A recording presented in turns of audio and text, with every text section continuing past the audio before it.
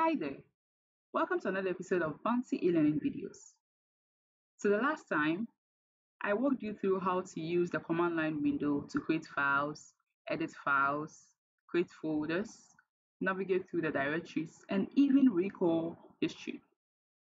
Today, we'll use that same format, but here's the case, I would be talking about how to write protect drives so it can be a thumb drive, it can be a USB drive, it can be any other disk drive that you have. So let's get straight into the video. But before that, if you are new to my channel, subscribe. That is if you are new. And give it a thumbs up, that's a like. Then if you have any question regarding this video or any suggestion, you can put it in the comment section. Alright, so let's get straight into the video.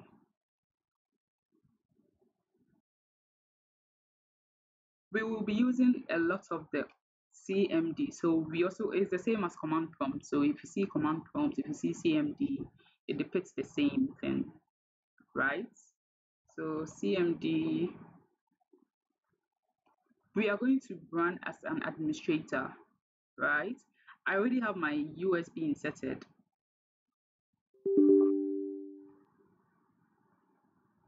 So I would want you to see the files that I have on my USB drive.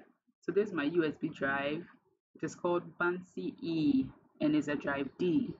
So you realize I have um, a Word document. I have Access Me, that's a folder. I have a test file. So let's try creating, let's say, okay, maybe another test document, right? So we've, we've been able to create, right?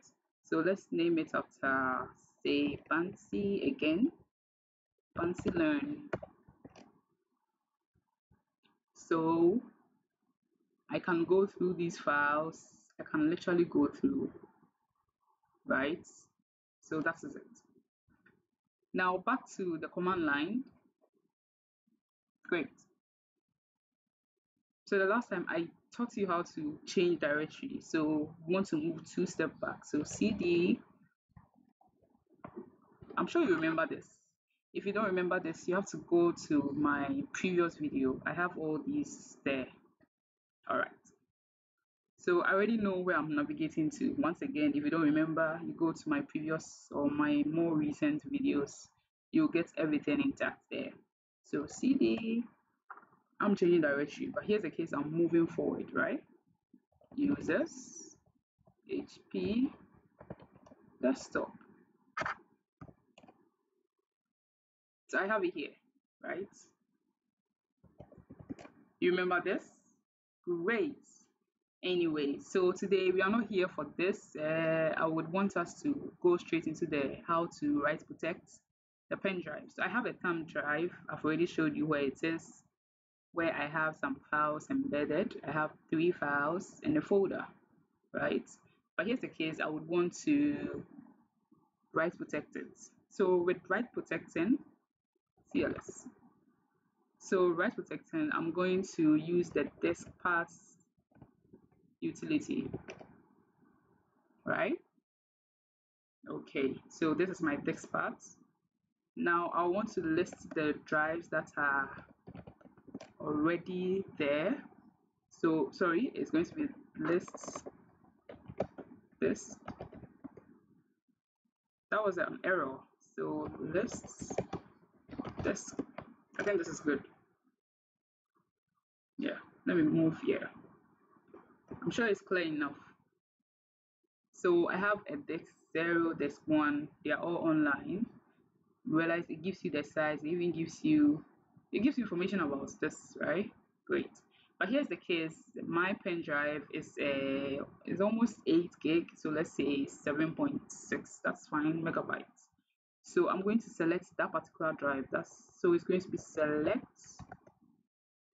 disk one, right? So now that this one is on.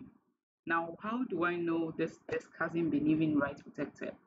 So here you're going to attributes the disk to see the various attributes of this disk. So here you realize we have um, the current read-only state to be. That means it's not write protected. It gives more information about the disk. of which we are not so much interested interested in interested in the write protecting states so it's already read only and now we want to make it it's actually not read it's read only which says no that means you can actually save a file onto it right? But here's the case we want to write protect it so that you don't get to save any file on it or any folder. So let's start.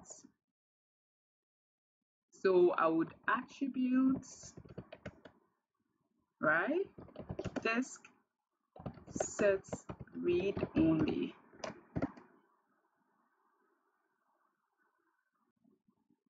right? So now it says disk attribute set successfully. That means it has been write protected. In fact, let's do this again. So now it says read only states yes. So it means it's not going to be written onto right? All right so let's let's go to here. So you realize it doesn't even create um it doesn't give you a space to create a folder or a file right? So it's like it's blocked. So this is this is this. Okay so let's say let's copy this. I've copied. Now let me try pasting it. It will never paste. It will be like this forever. Otherwise it exactly. So it's telling us we, we should remove the write protection or use another disk. So that is literally what write protecting is. You're protecting your disk from it being written onto right? Okay so now we can take it off. Realize it's so easy. Yeah. So let's take it off. Attributes. Disk clear read only. This cleared successfully. All right so that means can, can we list let's list to see. Now it's saying read only state is no. That means it can be written onto right? So let's check on the drive so you realize the new is even here. So let me copy this again. It was able to copy. So this is literally what the write protecting using command line is. Okay so we are done for today don't forget to subscribe if you are new. Give a thumbs up that's a like. And if you have any questions related to this or any question related to the previous posts or videos you can it in the comment section. All right bye bye